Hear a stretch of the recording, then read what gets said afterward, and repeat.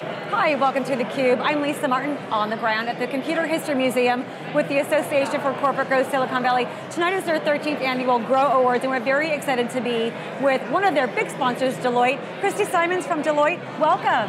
Thank you. Great to have you here. So you are a veteran in technology. You've been in the tech industry for over 25 years. You've probably seen incredible transformation. Tell us about what you're doing with Deloitte and the advisory services that you offer.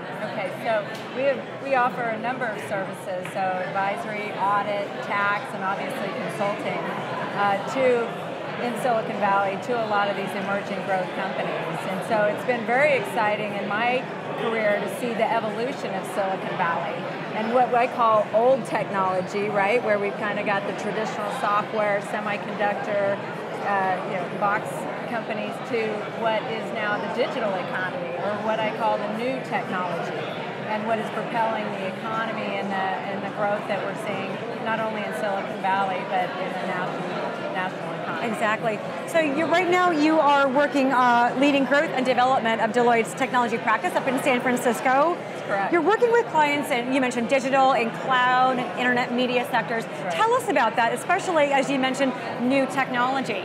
So a lot of them are startup companies, which is really the sweet spot of ACG, and it's why we're so involved with ACG. But a lot of these new technology companies that you mentioned, you know, cloud, software as a service, internet media, you know, data security, those types of companies uh, is really propelling the, the, digital economy. And so we see a lot of growth in that sector, uh, primarily in San Francisco, but also in the broader Bay Area of Silicon Valley. Being a tech veteran as you are, you mentioned kind of what's going on domestically, but also internationally. How do you influence of Silicon Valley, both here in Silicon Valley, as well as across the globe?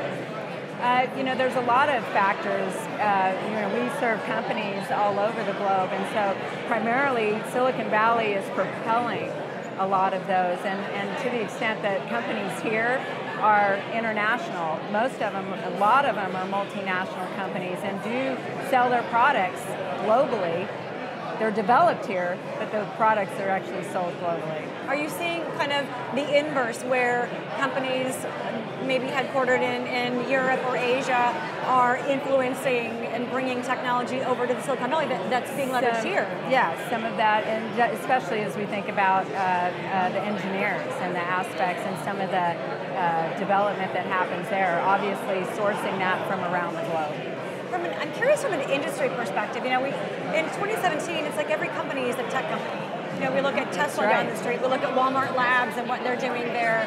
How are you seeing some of the clients that you advise for? What some are some of the industries that you're seeing are now technology industries? Yeah, so there's definitely a convergence, as you mentioned, to many industries, actually all industries. And so when we think about financial services, you know, fintech, when you think about life sciences, health tech, when you think about retail, right? You've got internet. So we're definitely seeing convergence and technology is impacting our daily lives in almost everything that we do and in almost every product and service that we buy, there's some form or element of technology involved. Exactly, it's really remarkable. And speaking of remarkable, tonight we're here with ACG to recognize two fantastic companies, Twilio, who's the Emerging Growth winner of 2017, right. and NVIDIA, the Outstanding Growth Award winner.